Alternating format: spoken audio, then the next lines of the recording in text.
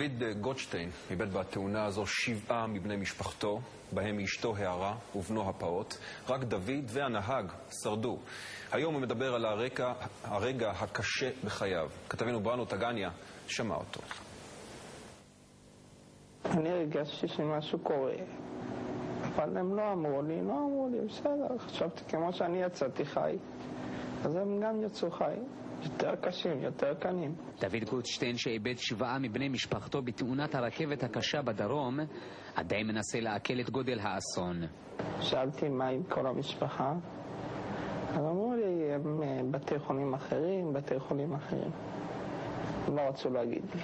רבותיי, כל מי שהוא לא נחוץ, מתבקש לצאת, תודה. דוד נפצע קשה מאוד בתאונה, וסכנה נשקפה לחייו. במשך ארבעה ימים הסתירו ממנו הרופאים ובני משפחתו את העובדה שרק הוא ונהג המיניבוס שרדו. כבוד הרב, שלנו שאלה אחת בבקשה. אני באתי שתיתנו לי תודה רבה לך. אבל שלשום הגיע הרב של עזר מציון לבית החולים וסיפר לו הכל. הוא התחיל עם אשתי, שהיא לא שרדה. שאלתי אותו מה עם הבן שלי, אז הוא אמר לי גם לא. לאט לאט הוא אמר לי על כל המשפחה. אתה קולט את זה שאתה בעצם שרדת, אתה היחיד ששרד מהמשפחה? כן. מה זאת אומרת אם אני קולט? אני חייב לקלוט את זה. אם כן או לא. זו המציאות. אחרי חמישה ימים במחלקת טיפול נמרץ של בית החולים ברזילי, יצא דוד מכלל סכנה. היום, למרות הקושי הרב, הוא מנסה לשחזר בפעם הראשונה את הרגעים שלפני התאונה הקטלנית. באותו יום חזרתי בשתיים, שתיים וחצי מהעבודה, התארגנו, עליתי לבית חמי, שם הגיע הטנדר. היה אווירה די נחמדה, שיחקנו, דיברנו. הבן שלי השתולל קצת.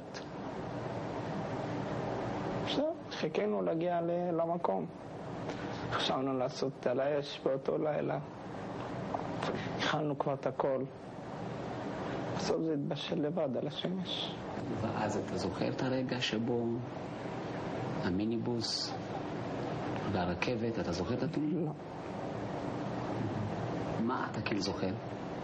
זוכר שעלינו ונסענו וזהו זה.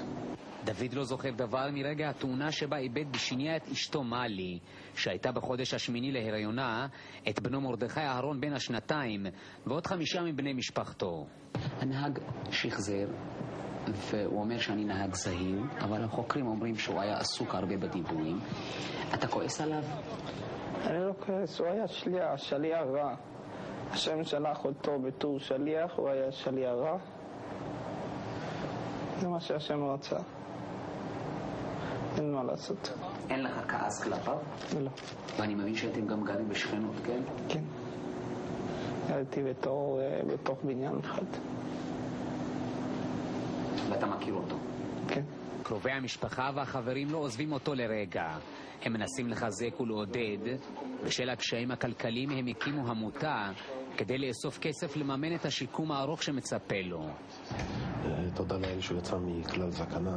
ברור שאנחנו, המשפחה, עושים את המחויבות שלנו להיות צמודים אליו, לעזור לו בכל מה שניתן, מהבחינה הרפואית, הנפשית, הפיזית, לתת לו את כל העזרה והסיוע, את כל הנדרש. וזה מה שאנחנו משתדלים לעשות כל הזמן. פיזית, איך אתה מרגיש?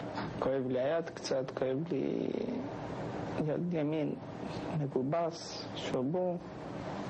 כואב לי קצת האף, גם שבור קצת. הגב קצת, הבטן בפנים, זהו זה. נפשית. מה הכי קשה לך כרגע? כשאני שוכב פה זה מה שקשה לי. שאני לא יכול לצאת, לחזק אנשים בחוץ. אביו של דוד, הרב חיים גוטשטיין, שלא זז ממיטת בנו מאז התאונה, דווקא כן מצליח להתחזק ממנו. ימים מאוד מאוד קשים, מאוד קשים. אי אפשר בכלל להסביר את הקושי שבימים האלו. מעולם לא טעמנו טעם מר כזה.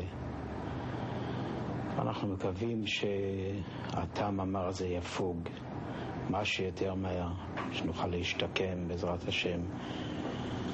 ואנחנו גם חייבים לעשות את זה בשביל דוד, לתת לו שמחה, בינתיים הוא מחזק אותנו. מה אתם חושבים שמגיע חום? תראה, זה המצב הכללי שלו, זה גם... משהו.